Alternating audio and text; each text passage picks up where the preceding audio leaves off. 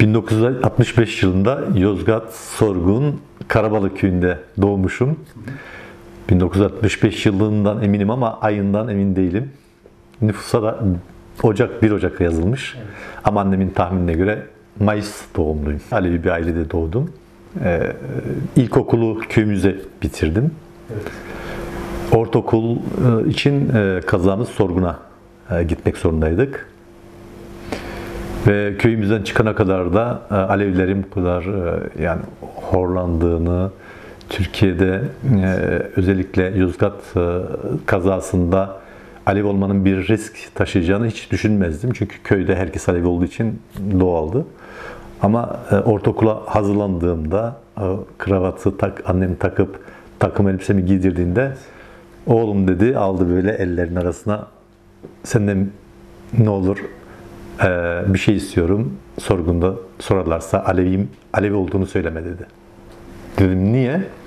Dedi söyleme daha iyi olur. Anlamamıştım o, o zaman. 3 ay sonra başka bir köyden gelen bir arkadaşla tanışmıştım sınıfta. 3 ay sonra bir gün sabah geldi bana böyle merakla Durak sen Alevi misin dedi. Ben de ne diyeceğim şaşırdım. Evet dedim. Böyle gözleri doldu, arkasını döndü gitti. Başkaları söylemişler niye o kızılbaşlı arkadaşlık yapıyorsun diye. Artık ne anlatıldıysa küçüklüğünden beri çok ağrıma gitmişti o zaman. Yani o kadar aşağılandığımı ya da o kadar e, kötü hakkımızda kötü şeylerin söylenebileceğini hiç düşünememiştim. Alevi olmak otomatikman solcu olmaktı. Yozgat gibi sorgun gibi bir yerde solcu olmak da zaten 1500 kişilik lise ve ortaokul bir aradaydı. 50 kişiydik toru topu. Yaşama koşullarımız yoktu. Sonuçta artık okula gidemez olduk son ay. Ve babam e, tayinimi Bahadın kasabası var Yozgat sorguna bağlı. Alevi bir kasaba. E, Nahiyeydi o zaman. E, diplomamı oradan aldım. Ortaokul diplomamı oradan alabildim. O zaman sol dalga Yozgat'ta da bir e, gelişmeye başlamıştı. E, aile zaten endişeliydi geleceğimizden. E, hele de 12 Eylül gelince tamamen önümüzü göremez olduk. Yani ben çok farkında değildim. 15 yaşımdaydım. Her ne kadar meraklı olsam ta o yaşta e, Karl Marx'ı okumaya çalışmak, Lenin'i okumaya çalışmak gibi bir modada olsa da e, çok öyle riskleri göremiyordum ama tabii aile bunu görürdü. Önce işte abimi gönderdiler Almanya'ya. Aynı otobüsle ben de bir hafta sonra sürpriz bir şekilde e, yola çıktım. Öyle bir daha çok ayrılıktan ziyade benim için bir yırtılıştı. Çünkü 15 yaşı çok erkendi benim için. Çok erken hemen erken yaşta sorumluluklarımın farkına vardım. Yani başka dönüş yolu yok. Bir biçimde ayaklarım üzerinde durmam gerekiyor ve başımın çaresine bakmam gerekiyor. Onun için hemen bunun da yolu ilk yolu dil öğrenmekten geçiyor. Kendime hedef koymuştum. Her gün iki tane kelime cebimde not alıyordum. Onu akşama kadar ezberliyordum ve çok kısa sürede hemen Almanca kelime haznemi geliştirmiştim. İlk hedefim oydu. Ama yaşım küçük olduğu için maalesef abim iltica hakkı alabildi ama ben alamadım. Bana yer reşit olmadığım için o hakkı tanımadılar. Orada kalamayacağım anlaşıldı ve Fransa'da gazetede bir haber okumuştuk. Mitterrand yeni cumhurbaşkanı seçildi ve bütün kağıtsızlara e, oturum hakkı tanıyor diye bir haber çıktı. Fransa'da da bir ablam vardı. Evet. E, ve aile kararıyla Fransa'ya gö- göndermek istediler ve şansımı öyle denedim. Bazı belgeleri temin ederekten e, orada Fransa'da oturum hakkı kaldım 82 yılında. Ondan sonra e, tabii ki e, mülteci olaraktan göçmen olaraktan bir yeni bir ülkede e, kendini kabul ettirmek, oraya uyum sağlamak e, çok zor, çok zor. Hele de e, hele de e,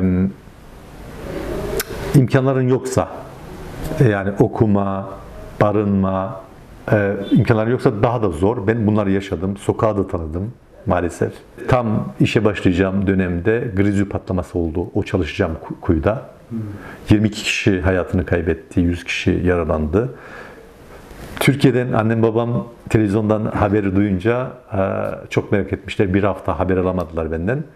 Sonra onlara ulaştığımda dediler istersen geri dön gel ama yer altına inme. Çünkü 1050 metre yerin altından yani maden e, çıkarıyorduk. Ve ondan sonra da daha çok e, ne bulduysak o işte çalıştık. O da inşaat sektörüydü. Türkler daha çok inşaat sektöründe ve de cephe işlerinde uzmanlardı. Öyle iş hayatına atıldım. Fransız vatandaş olmak için başvurmuştum. Fransız vatandaşlığım reddedildi. Bazı e, siyasi faaliyetlerimden dolayı kabul etmediler. Sonra e, orada sosyalist bir milletvekiliyle ne durum izah ettim dedim benim vatandaşlığım kabul olmadı yardımcı olabilir misiniz? O dedi normal değil yani sırf sadece siyasi görüşünüzden dolayı e, vatandaşlık verilmemesi normal değil. Müdahale etti ve vatandaşlık Fransız vatandaşı oldum. E, ben de demiştim bu e, bu jestinize karşılık bir ihtiyaç olursa e, buradayım demiştim o milletvekiline. O da aynı zamanda e, belediye başkanıydı. Hem milletvekili hem belediye başkanı. Listesini oluştururken dedi ki benim ekibimde iş insanı profili eksik. Sen ekibimde görmek istiyorum dedi. Ben de düşündüm yani hem iş hem si e, siyaset dedim endişeliydim. Dedi hiç merak etme burada işini düzgün yapan na hiç sorun olmaz. Öyle kabul ettim e, ve %75 oy alaraktan e, meclise e, seçildik. Oğlum 13 yaşındaydı. Bir gün pazar günü kahvaltı yaparken dedi ki baba biz neyiz? Dedim nasıl neyiz e, oğlum? Dedi arkadaşım mahallede başka bir aile vardı. Arkadaşım dedi babasıyla her cuma camiye gidiyorlar. Öbür Fransız arkadaşım her pazar ailesiyle kiliseye gidiyor. Bana anlatıyorlar, bana soruyorlar biz biz nereye gidiyoruz, nereye gideceğiz? Böyle deyince işte anlatmaya çalıştım. Ya biz Aleviyiz, e, falan tam Aleviysek Alevilerin gideceği bir yeri yok mu diye sordu. Eşim de tabii cevap veremedi buna. Ben de bunu başka arkadaşlarla da paylaştık. Başka aile dostlarıyla. Onlar dediler aynı soruyla biz de karşılaşıyoruz. Dedik o zaman bir şeyler yapmamız lazım. Yani bu çocuklara cevapsız bırakamayız. Böyle bir arayış içerisine giriyorlarsa biz buna cevap veremezsek bunlar cevabı kendileri bulacaklar bir yerlerde. Böyle bir sorumlulukla e, bir araya geldik. 20 e, kişiyle e, Mozel Cemevi'ni kurduk. İlk aşuremizde 500 kişi yani çok güzel düzenli büyük salonlarda etkinlikler falan yapınca sonra bizi internetten fark etmişler federasyondakiler. Demişler Mozel'de böyle bir şey kurulmuş. FUAF'taki o zamanki yöneticiler, genel sekreteri bizimle bağlantıya geçti. Bilmiyoruz biz yani böyle bir federasyon falan varlığından bile haberimiz yoktu. Böyle e, bir iletişim kurduk. Sonra dediler e, federasyona üye olun. Tabii ki oluruz. Ama sonra anladım, gördük ki federasyonda bayağı bir sıkıntılar varmış. Kişiler arasındaki problemler artık e, neredeyse federasyonun kapanma noktasına getirmiş. Üyeler, üye AKM'ler istifalarını vermişler. Dedik biz bu sıkıntının içine de girmek istemiyoruz. Yani bunları çözün. Biz sizinleyiz. Sonra böyle böyle başladı. Benim başkanlık e, görevine aday olmamı evet. söyledi. Ben dedim mümkün değil. Ben daha dün bu işlere başladım ve bugün karar versem iki yılım alır. Çünkü belediye meclis üyesiyim, kendi işlerim vesaire. Dedi iki yıl sonra federasyon kalmaz dedi. O kadar mı durum acil? Şimdi vicdan azabı duyuyorsunuz. Yani sizden dolayı bir federasyonun e, kapanması ağır bir sorumluluk. Neyse sonra aileyle konuştuk. Rızalıklarını aldım. Eşimin, oğlumun. Kızım rızalık vermedi çünkü henüz 8 yaşındaydı ve eğer böyle bir görev alırsan dedi pazar günleri yüzmeye gidemeyeceğiz beraber. Ona rağmen e, arkadaşların da desteğiyle, e, ta, e, teşvikiyle hiç hazır olmadığım bir dönemde e, federasyon başkanlığı görevine 2006 yılı. 2000 e, 2006 yılında e, hemen tabii ki tecrübeli arkadaşlarla bir araya geldik ve e, dedim yani eğer bu görevi alırsam e, gerçekten de işe yaramasını isterim. Yani harcayacağımız enerji işe yarasın, bir, bir, bir şeyler katsın yani bu toplumumuza. 12 tane öncelikli olanı alalım. Her bu 10 ilk 12 öncelikli ihtiyacı için birer tane komisyon oluşturalım. Bunu da tüzüğümüze koyalım yani çalışma modeli olaraktan.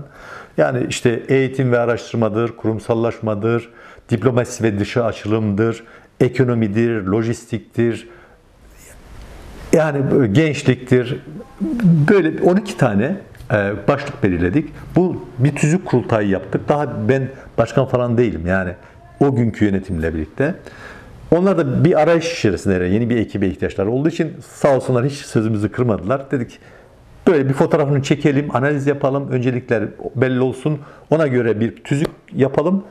E, onun ardından ben bütün Alevi Kültür Merkezlerine bir mektup gönderdim. Kendimi tanıtan ve amacımızı anlatan ve her Alevi Kültür Merkezi'nden de şu özelliklere sahip, şu 12 komisyonda görev alabilecek profiller varsa bunu bize bildirin lütfen. Tabii ilk defa görülen bir şey. Kimisi tepki gösterdi, kimisi çok heyecanlandı. Ama sonuçta e, onlarca mektup geldi. Şu arkadaşımız şu göreve müsaittir, bu arkadaşımız hukuktadır, bu arkadaşımız e, mali müşavirdir, bu arkadaşımız mimardır vesaire.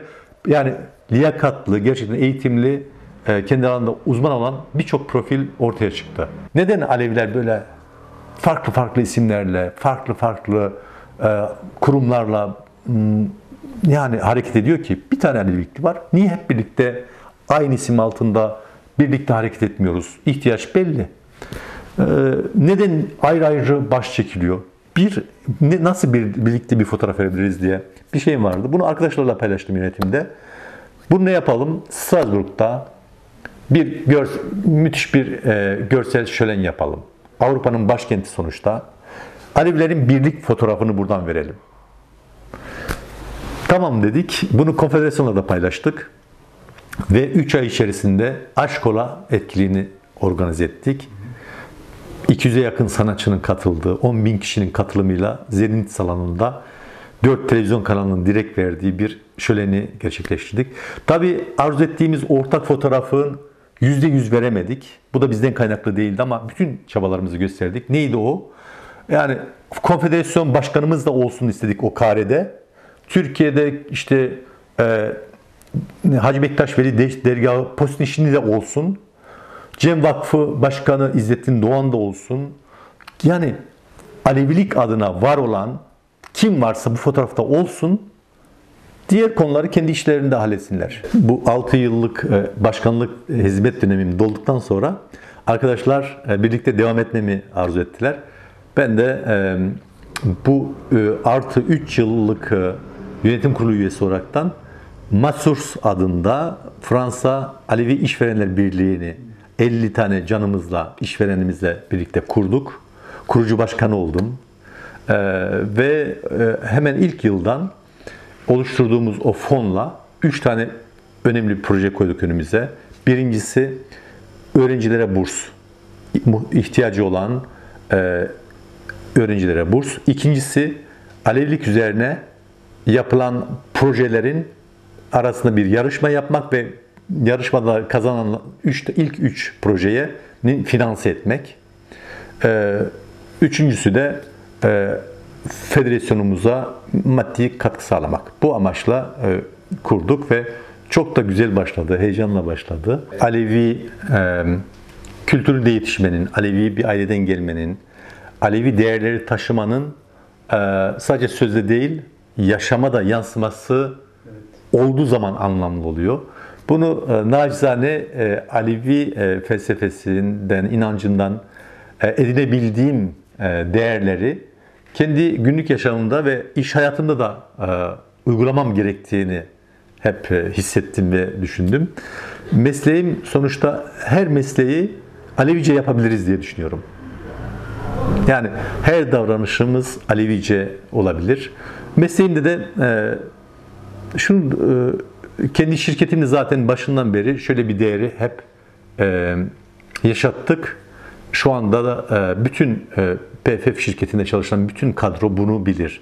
Misyonumuz ve değerlerimiz nedir? Bunu kime hangisine sorsanız size söyler. Hepsi aynı. Çünkü zaten bu misyonu ve değerleri paylaşmayan bizimle değil.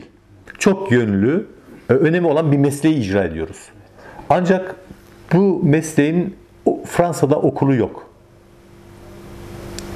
Neden bunun okulu yok? Neden e, teknik eleman teknik elemanlar yetişmiyor diye sorduğumda buna hiçbir cevap alamadım, sağlıklı bir cevap alamadım.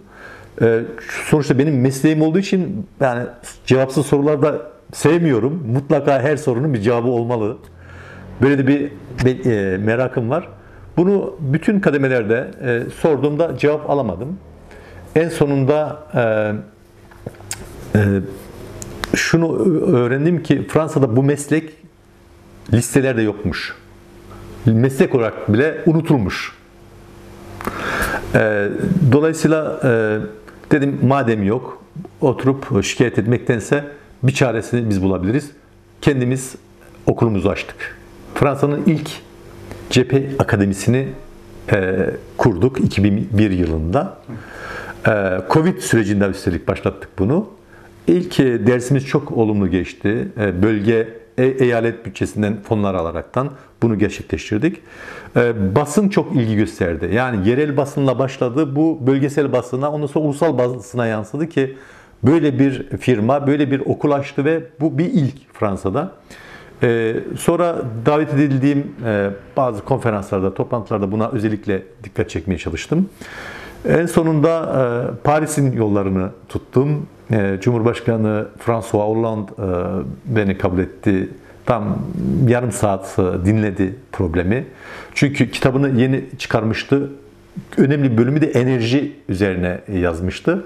Okuduğumda dedim yani siz bu konuya dikkat çekiyorsunuz ama esas bir ihmal var burada. Bu hedeflere ulaşmak için yani 2030-2050 yılı hedeflerine ulaşabilmek için bu mesleğin resmiyette olması lazım ve bu konuda teknik elemanların yetişmesi lazım. Yoksa mümkün değil. Bu bunu söyleyince tabii çok ilgilerini çekti. Ekonomi Bakanlığı'yla e, iletişime e, e, koydu beni. Ekonomi Bakanlığı beni davet etti Paris'e. Bu konuda sunum yaptım. E, bütün iki üç tane bakanlığın katılımıyla ilgilerini çekti ve bir çalışma grubuna dahil ettiler beni. İşte TEDx konuşmamı e, e, önermişlerdi. Başta karar vermek zor oldu benim için ama sonra e, çevremin de teşvikiyle kabul ettim. İyi ki de etmişim çünkü orada çok iyi dönüşler oldu. E, bin kişinin önünde kendi hayat hikayeni anlatmak tabii ki çok kolay değil ama orada e, bazı gerçeklere özellikle Alevi kimliğim ve Alevi olduğumdan dolayı ülkemi terk etmek zorunda kaldığım, Strasbourg'da Abdullah Gül ile yaptığım yani o, o konuşmada uğradığım haksızlıklar, e, hatta orada linç edilme riski yaşamış olmak ve Abdullah Gül'ün oradaki tavrının bir cumhurbaşkanına yakışmayacak bir tavrının olması, bu tür konuları gelin aramızda konuşalım, böyle toplum önünde konuşmayın demesi. E, ya bütün bunlar aslında gizli gerçeklerdi. Yani Sivas Sivas'ta yaşadığımız neredeyse Strasbourg'un merkezinde yaşayacaktık. Ee, böyle bir e, bunları e, bunları paylaşma, bunlara dikkat çekme fırsatımız oldu. Alevilerin yoğunlukta yaşadığı Anadolu'da, Türkiye'de eşit yurttaşlık haklarının olmaması e, bu Türkiye demokrasinin bir eksikliği. Bunun sadece Aleviler için değil, Türkiye'deki demok Türkiye demokrasinin tekrar de, tekrar da diyemiyorum. Hiçbir zaman e, tam anlamıyla demokrasi yaşanamadı bu ülkede. Bir an önce Türkiye'de demokrasinin inşa edilmesi gerekiyor. Bunu bütün toplumun kesimleri, tabii Alevilere de görev düşüyor. Bütün toplumun meselesi, laiklik, sadece Alevilerin meselesi değil, Sünnilerin de meselesi, bütün kesimlerin meselesi. Dolayısıyla laiklik, demokrasi, e, cumhuriyet değerleri Türkiye'de e, tam anlamıyla yani Cumhuriyet demokrasiyle taşlanması gerekiyor. Bu hepimizin görevi. Alevi kurumları da e, Alevi kurumları da e, önceliğini e, e, belirlemesi gerekir. E, suni tartışmalarla enerjisini israf etmemesi gerekir. Yani Aleviliğin detaya girmeyeceğim ama Aleviliğin tarifiyle ilgili sarf edilen enerji Alevilerin acilen çözülmesi gereken sorunlarından çalınmış çalınmış bir enerjidir diye düşünüyorum. Aleviliğin tarifi her birey kendine göre yapabilir. Bu özgürlüğe sahip olmalı. Ee, kimse kimseye kendi tarifini dayatmamalı. Bunun üzerinden e, Aleviler birbirini ayrıştırmamalı, ötekileştirmemeli. Tersine e, eğer Alevilik Türkiye'de e, bir sorun olaraktan görülüyorsa, Alevi olduğundan dolayı insanlar mağdur ediliyorsa bir an önce bu Alevi kimliğinin Türkiye'de varlığının kabul edilmesi için hep birlikte çalışmalıyız. Alevi kurumları da e, ne yazık ki şu anda e, Alevi toplumunun yüzde ikisine bile hitap etmediğini bilmiyorum. Elimde istatistik bilgi yok ama hadi biraz e, cömert davranırsak yüzde üçüne ancak hitap ediyor. Yüzde üçü e, bu kurumlarımıza gelip gidiyor. Yüzde 97'si kurumların dışında. Bunların yolları aranması lazım. Ne, neden soru soru bir? Neden bu top, toplumun e, büyük bir kesimini e, ne dokunamıyoruz? Sebebi nedir? İkincisi neler yapmamız lazım? Bu da tabii ben e, bir reçetem yok bununla ilgili. Tabii ki katkılar sunabiliriz. Böylesi platformlar oluşturulursa, bu sorular sorulur, cevaplar aranırsa geçmişten m, gelen tecrübelerimizle katkılarımızı sunmaya çalışırız ama şu anda Alevi kurumlarının, Alevi hareketinin sorması ve cevap bulması gereken soru budur diye düşünüyorum.